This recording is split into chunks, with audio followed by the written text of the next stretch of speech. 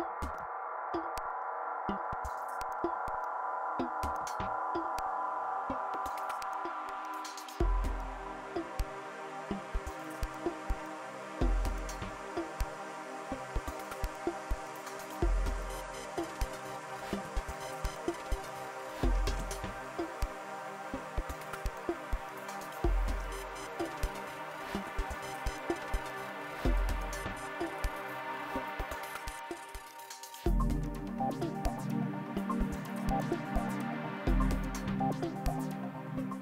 Earth sky photography is becoming very popular and practical for a wider range of people around the world because of new generation of cameras, digital cameras with higher sensitivity, essential for low light environments.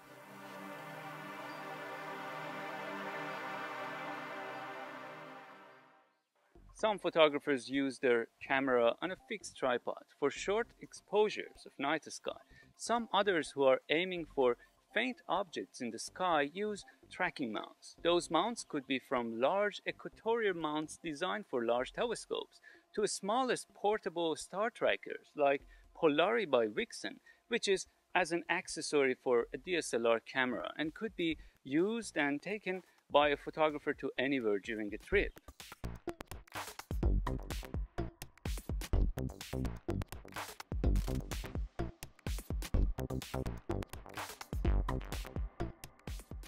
Polarie Complete package comes with a tripod, which includes a special design elevator with hand grip to make polar alignment and balancing better. Polarie tripod is fairly fine for a camera with a wide-angle lens, but it's a lightweight tripod made for travelers with ultimate portability. If you consider using heavier lenses or cameras, try a steadier photo tripod and larger ball heads of course. Polarie can be used on any standard photo tripod using two heads instead of the single usual head on the tripod. The tracker body comes between the two heads. The first one helps you to tilt Polarie to adjust latitude. This head is not necessary to be ball head. The second one holds the camera and comes on the rotating mount of the tracker. This needs to be a ball head so you can point the camera to any direction and level the horizon in your view. Polarie standard tripod comes with two ball heads, so it's all ready to go. The main purpose of Polarie is to enable you to do longer exposure photos of the sky with a spectacular starry sky without recording the start rates or the motion of the sky. But in order to use any star tracker mount, we need to first align the tracker rotation axis with the Earth rotation axis, simply by pointing the tracker toward the celestial pole. You can start this by opening the embedded compass on the back side of Polarie to find the north, or south if you're in the southern hemisphere continue with leveling the tripod, rotating Polarie to north and tilting it to a degree that the latitude marker on the side of Polarie matches with your location latitude. Your latitude tells how high is the celestial pole in the sky above you. For example, if you're near the equator, the pole is near the horizon, and in the polar regions, it's overhead in the sky. When you turn on the tracker, the latitude marker is dimly illuminated so you can read it at darkness. The celestial pole in the northern hemisphere is marked by famous star Polaris. Look through the polar finding hole in Polarie body and move the tracker until the polar star appears in the hole which has about 9 degrees field of view. It's better to point it in the middle of the hole for better accuracy this makes alignment one step further and it's accurate enough for quick wide-angle shots. If you attach an empty tube, like a pen tube, to the hole, the longer distance of your eye from the polar hole makes a smaller field of view and therefore a bit more accurate aligning.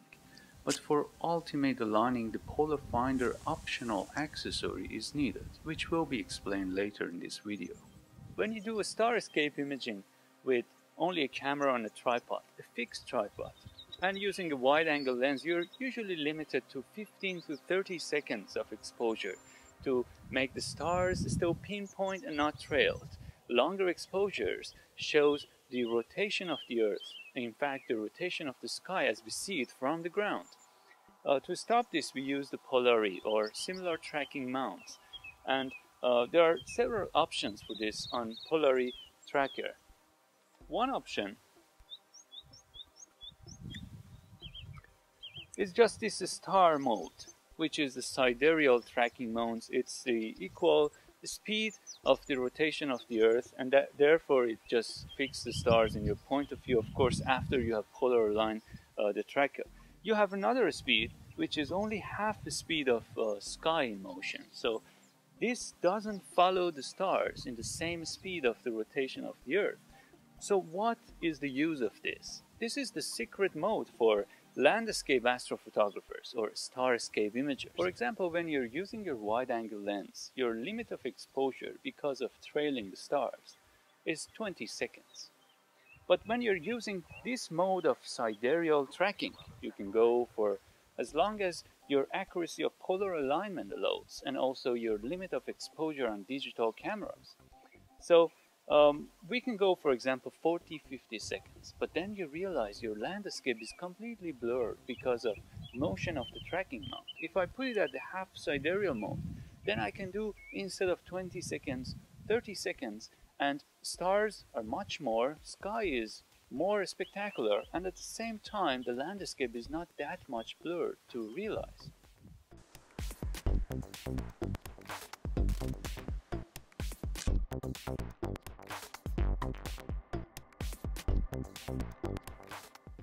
Both the moon and the sun move across the sky at a bit different speed than the stars.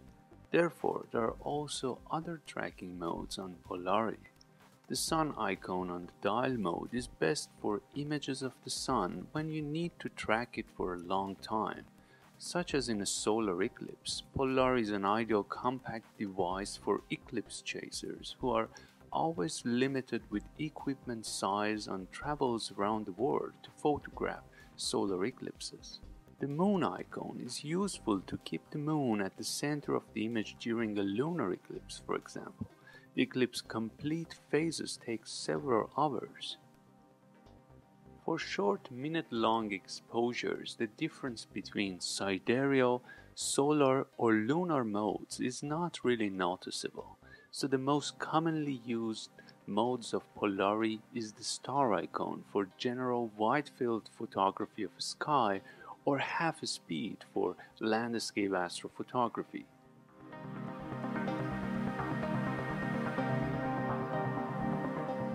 To start working with Polarie, find a dark location, preferably far from cities out in nature, and choose a night when bright moon is not in the sky. Preferably use a digital SLR camera, although Polarie works for film cameras and any compact cameras too, but their performance in low light are far from DSLR cameras. Your camera setting needs to be on manual, both the shutter speed and lens aperture, as well as the ISO, which is generally known as the camera sensitivity. It's also best to focus the lens manually either by taking few pictures and fine-tuning the focus, or live view, which is a function available on all the newer DSLR cameras.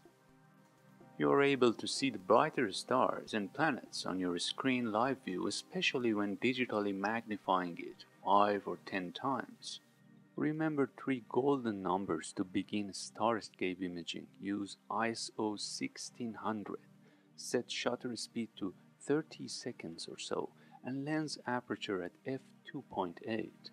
You can try longer exposures for deeper images of the sky. Don't forget to shoot nightscape images in RAW to save all the data needed for better processing, so better to avoid JPEG saving. An advantage for small portable tracking mounts like Polarie is that you can have it as an accessory for your DSLR camera always with you on trips. So that gives you the option whenever you find dark skies in a location, you have this option to turn your digital camera to a sky imaging device. Polaris Star Tracker is not designed for telescopes. It's for cameras, either digital SLR cameras or compact with various lenses. So it has the wave limit of about 3 kilograms. That gives you a wide range of views for many kind of cameras, many kind of lenses.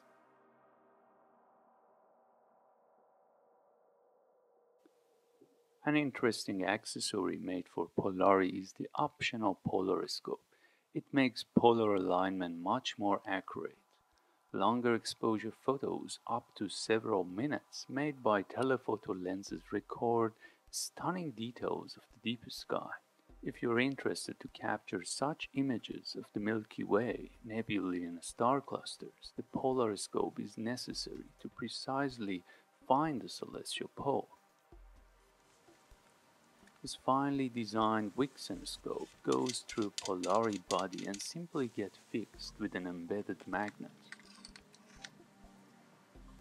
There are three rings on the scope to determine your time, date and also your time difference from the country's standard time, also known as the meridian offset. For example, if your standard time is 8 pm, but you're at the eastern region of the country, about 10 degrees of longitude off the main meridian of the country, set this scale at 10 degrees east. Remember to level the polariscope at the end using the bubble level on the scope. Some minor inaccuracies in all these settings does not really affect the result as Polarie is not made for high magnification telescopes. The North Celestial Pole is not exactly Polaris. The pole is off for about 1 degree, which is the reason to use polariscope. Place Polaris along the years marked in the polariscope. If you find it difficult to see the numbers at dark, shine a dim red LED flashlight to the polariscope's front lens. Since you have already rotated the scope for the time and date setting, the celestial pole should be now right in the center. After polar aligning, you can move the upper ball head to point your camera to any direction. But remember, if you move the lower base ball head or change the position of the tripod, then the mount need to be realigned. To do polar aligning precisely, reading Polarie manual would be very helpful too. Another optional accessory is Polar Meter that comes on the hot shoe mounting place on the top of Polarie body. The more accurate compass, angle meter and bubble level on this little device helps you quickly find the north and set the latitude as well as leveling the mount to the horizon.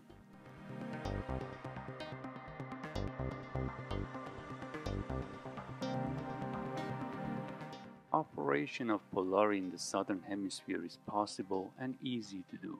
It's a bit more tricky to find the south celestial pole as there is no bright polar star to mark it. The prominent figure of the Southern Cross is the best guide to find the pole. Use a map like this from Polarie Manual to accurately polar align the star tracker. Before using the tracker in the southern hemisphere, remember to open the battery compartment and adjust the little but important NS switch. The sky in the southern hemisphere rotates in the opposite direction, as well as the tracker. The activation of sudden tracking mode is smartly shown on Polarie by changing all the red lights on the tracker to green.